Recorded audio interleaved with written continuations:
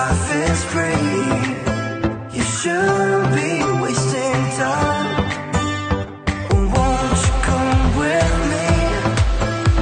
Stay until the morning sun. Stay